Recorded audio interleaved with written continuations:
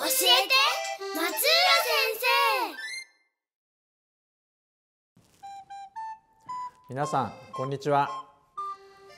淑徳大学の松浦俊也です。えこのえ動画はそうなんだというシリーズの教えて松浦先生。このシリーズの一環として今日は特別対談をお送りしますがいつもは発達障害があるお子さんの保護者の皆さんあるいは専門機関などの関係者の皆さん向けに発達障害に関するノウハウや Q&A を分かりやすく簡単にお伝えする動画となっています。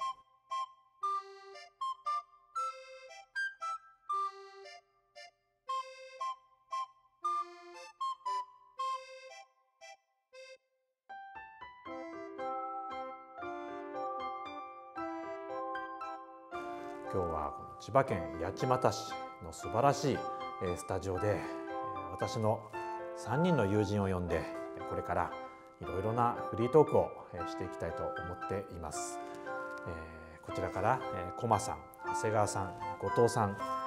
それぞれからですね自己紹介をいただきたいと思いますが今日はまあフリートークではあるんですが新しい時代の親子の在り方家族の在り方という点で皆さんと話を深めていきたいと思っています。ではまずは駒さんお願いします。はい。私は八街市社会福祉協議会で社会福祉士をしております駒義和と申します。よろしくお願いいたします。松浦先生とはですね淑徳大学の教授が八街市の社会福祉協議会で月1回気になるお子さんの個別相談の方させていただいています。まあ、そんな中でやはりあのお父さんお母さ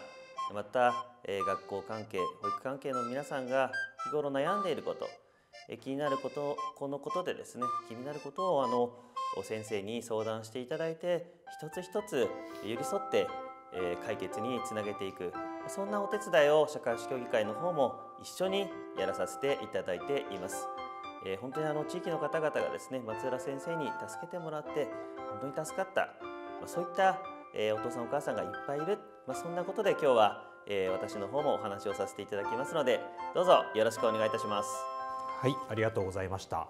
えー、皆さん社会福祉協議会ご存知でしょうかね。皆さんの町にも実は必ずあるんですよ。さまざまな町の問題に前向きにいつも対応してくれる、えー、協議会です。そこの、まあ、社会福祉士というこ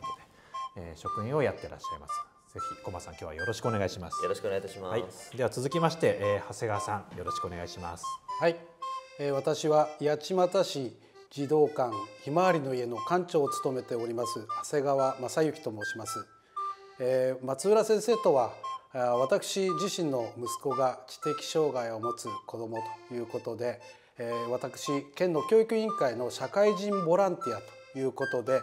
富里特別支援学校松浦先生がいらっしゃった時に実習をするために伺いましたそれ以来十数年松浦先生とお付き合いしていただいた中で私の家族ということだけではなくてこの地域あるいはこの児童館をやっている状況の中から子どもたちというのはなかなか困り感を持っていることがたくさん多いんですね。そういった中で松浦先生が常に正しい見方正しい情報をしっかり持つことっていうことで松浦先生からいろんな特別支援教育も含めて、え話を伺っているところです。そういった中で、え松浦先生が今回こういった「そうなんだ」ということをやっておられるということで私の児童館の中でもそういったことをコマーシャルをしお伝えをしたいる中でやはり支援する側もやっぱこういうことが必要だねという声が出てきています。ですのでこういった「そうなんだ」を含めてこういう地域の方々に少しでも児童館から発信ができたらいいなというふうに思っています。今日はよろしくお願いいたします。はい長谷川さんありがとうございます、えー、八街の児童館ひまわりの家は昨年4月にオープンしたばっかりですよね、えー、初代館長として、えー、長谷川さんが今、えー、活躍されていますが児童館というのもひょっとしたらあまりこう聞きなじみがない方がいらっしゃるかもしれませんが、まあ、あらゆるお子さんがですね、えー、自由に活発に行動できるそういう家族をサポートする地域の大事な子どもの集まりの場であります。ぜひ児童館ひまわりの家にもお近くの方お子さんお寄りいただければと思います。えー、続いて、えー、後藤さんですが、まあ、何を隠そうこの、えー、ソーナンダーを作っている会社マイルストーンの、えー、社長さんでもありますので、えー、今後藤さんから一言いただきたいと思います。お願いします。あはい、えー、マイルストーン株式会社の代表を務めてます後藤祐樹と申します。えっ、ー、と今回のソーナンダーという番組を、えー、作らせていただいて、えー、まあ YouTube を通じて世の中に配信させていただいてます。主に取り上げているのが発達障害ということでそれに携わる家族や、まあ、あとは教育機関、まあ、福祉関係の皆様そういう方たちの、まあ、苦労されてることとか悩みとかまたさまざまなそういう発達障害に関しての知識ですねあとは知恵そういうものを松浦教授と一緒に組み立てながらより良い番組をこう作っていこうという志を持って、えー、とやらせていただいてます。今日は、えー、八幡の福祉協議会の方と、まあ、いろんなこうお話をして、まあ、お互いにいろんなものをこう引き出せればいいなと思ってます。よろしくお願いします。はい、後藤さんありがとうございました。えー、後藤さんとは5年ぐらい前ですかね。ね大学のまあ、ワークショップ、えー、子ども向けのワークショップをした時に、まあ、お父さんとして、えー、参加をしていただいてそれからの付き合いになります、えー、私の大学のゼミの学生がボランティアでお世話になったり、まあ、卒業生も、えー、就職先として、えー、お世話に、ね、なったりしていますので、はい、えー、大変もう頭の上がらない存在ということで、えー、ぜひよろしくお願いいたします。お願いします、えー、そもそもまずはですね、えー、今回この対談になったきっかけなんですけどもまあ、聞くところによると、えー、駒さん、えー、長谷川さんが、えー、後藤さんと、えー、話を深めていくうちにちょっとこんな動画を撮りたいねということになったらしいんですがどんな話が出たんですか駒さん。はいそうですね、まあ、あの時、まあ、特にですね今回その後藤さんが、まあ、株式会社マイルストーンで、まあ、あのチラシをこの「そうなんだ」のチラシを私も見させていただいてまずはそのキャスティングに驚きを隠せなかったっていうのというふうなルートでいけばこういったキャスティングができるのかなっていうのが一つ感じたところであります。で後藤さんがなんとなく活動してるのは知ってたけども、まあ、急にこのチラシが出てきたんであれもう一度ちょっと後藤さんとお話をしてやっぱり今情報発信をするツールとしていろいろある中で我々もやっぱりえー、皆さんが欲しい情報をどうやったら届けられるのかなっていうのを疑問に思いながら日々考えてたのでちょっと後藤さんとお話ししたいなと思って今回、えー、こういったお話をする機会をいただいたっていう流れになってます。なるほど。えーまあ、皆さんももうご覧になっているようにこの「そうなんだ」は非常に私から見てもクオリティの高い番組となっていると思います。長谷川さんはそのあたり初めてこの番組を見て、えー、どう感じられました？まあ、あの私自身は松浦松浦先生からいろんなお話を聞いているということもありましてあのストンとこう簡潔にしかも丁寧にこう分かりやすいんですねこれ長々とやるんではなくてとっても簡単に我々自身が気づかないということだけではなくて伝える側のメッセージとしてはすごく楽なんですね。で視覚的にこう伝えるっていうこともそうですしやはりあのいろんな形で見せてくれる例えばクレヨンであったりとかあるいはその登場するそのキャラクターであったりというのがまるで某国立ああの 某某放送局のものと同じ間違えちゃうぐらいそしてなおかつエビデンスをしっかりこう持ってお話をいただいてるってことはとっても我々安心して見えるしお、まあ、オーソライズされてるっていうこともすごくあるんだなというふうに思って見ています。本当にそういった意味でもそうなんだとは別なんですけれどもここにいるあの後藤さんとはねここのナッツアップっていうところで最初にお会いをして特に自分の子供のために教育ってどうしていったらいいんだろうかっていう話あるいは夫婦で何かしたいんだよっていうところでここのナッツアップでやっているそういった集会に集まってくれたというところからの知り合いでいつか松浦先生の方からもそんな話を聞いてましたしいつか松浦先生だけではなくて後藤さんも交えて一緒に何か話をしたいなっていうこういった実際の実現してとても嬉しいし、えー、楽しみにしています。はい、ベタ褒めしていただいて 最上級の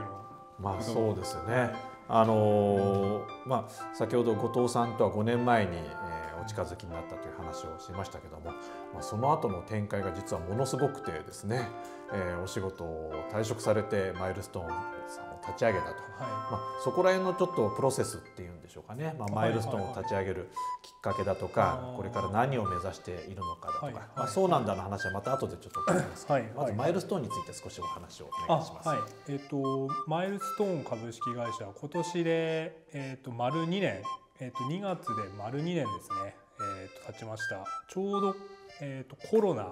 が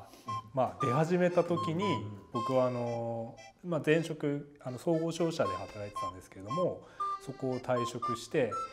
よしやろうと思った時にいきなりコロナっていうことで、まあ、だいぶあの衝撃を受けたというか誰も経験したことがない、まあ、未曾有のあの展開だったんですけれどもなぜ、まあ、マイルストーンっていう会社を立ち上げたかまずマイルストーンは、えー、と事業が大きく分けて2つあるんですけれども一つはあの僕がもともとその会社員時代にやってた、まあ、総合商社時代にやってた、えー、と石材の販売を、まあ、メインの事業として今動かしてます。そしてあのもう一つがこれあの僕が本当にやりたかったことなんですけれども、えー、といわゆる福祉を支援する福祉の活動をされてる方たちを側面支援するっていう事業を、えーとまあ、もう一つの事業としてやってます。なぜまあ僕がそういう福祉に携わる、えー、と会社を起こしたかっていうと、まあ、自分にあの子供が3人いるんですけれども、まあ、男の3人兄弟ですね。でその一番下の子が、まあえー、と知的障害を伴う自閉症ということで、えーまあ、その子を授かったことで、まあ、いろんなこう自分の中で変化がありましたそして、まあ、その子のことに対してすごいいろんな悩みとか葛藤がありその流れではこう松浦先生と知り合いました。であのあの知り合うことでまあいろいろ僕も勉強し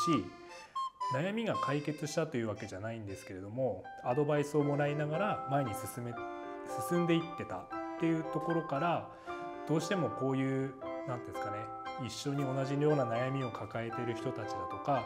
そういう人たちのなんか後押しが少しでもできたらなという思いがマイルストーン株式会社を作ったきっかけですね。あはい、はい、ありがとうございます。えー記憶をたどればマイルストーンができた時の最初の仕事がコロナ禍で大変だった福祉施設をサポートするという動きでしたね。あねあのー社会福祉法人サザンカ会さんの北総育成園でクラスターが起きたっていう大変あの痛ましいあのまあ事件といいますかそういうことが起きたんですけれどもその時に松浦先生からこういうことが起きた。それに対しての、ま、支援を募るために何かいい方法はないかねっていうことで、えっと、クラウドファンディングを立ち上げさせていただいてそうですねその流れでこう、まあ、いろんな方ともお会いしてあのいろんな今の展開がこうできてるっていうのはあるんですけれどもまずはそこの一番最初のやらせていただいたことっていうのはクラファンでさまざまな人からこう支援をいただくそこがあのうちの会社の、まあ、第一歩でしたね。そうですね。まあ、これについてはあの大手の新聞などでも報じられてご存知の方もいらっしゃるかもしれません。えー本当に障害者施設のコロナ対策というのは本当に大変なものだったんですね。